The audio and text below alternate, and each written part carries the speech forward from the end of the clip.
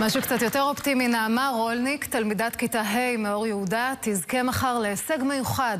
התזמורת הפילהרמונית של פינלנד תנגן יצירה פרי זה קורה במסגרת חגיגות מאה שנה למדינה.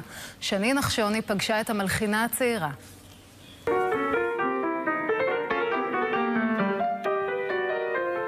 נעמה רולניק בת עשר קלאסית, במובן המוזיקלי של המילה. אתמול היא ארזה שמלה חגיגית וסוודר שיחמם, ונסעה לפינלנד לרגל חגיגות מאה שנים למדינה.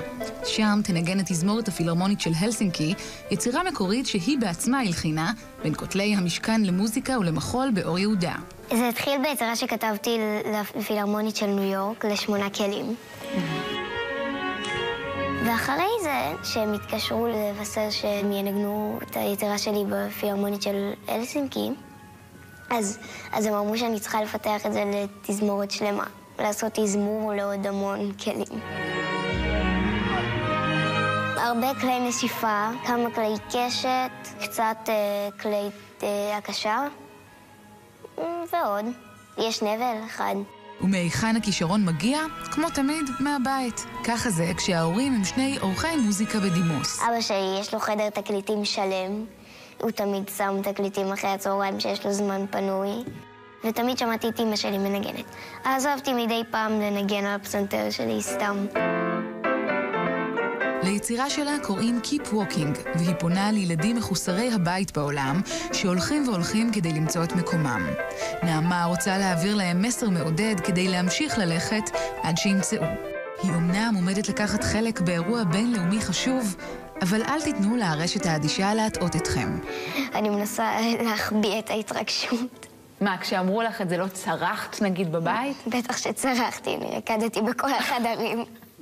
זה גם מפתח סול, אז... כבר ארבע שנים שהיא מנגנת, אבל רק לפני שנתיים התחילה להלחין. שלפעמים היה לי משעמם לנגן יצירות שכבר כתובות.